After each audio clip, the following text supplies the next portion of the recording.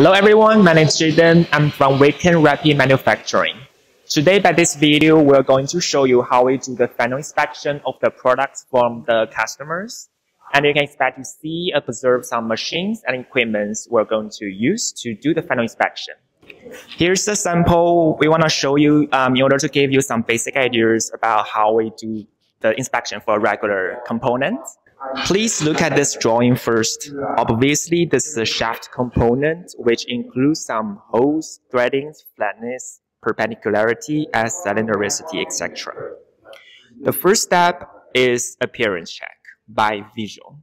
The second step is to use M36H thread gauge to measure the accuracy of threadings. The third step now is inner micrometer for checking the diameter of the threads. You can see clearly it is 56.389. Number four, we use 2.5 dimension measuring instrument to check the hole's radius that is R5.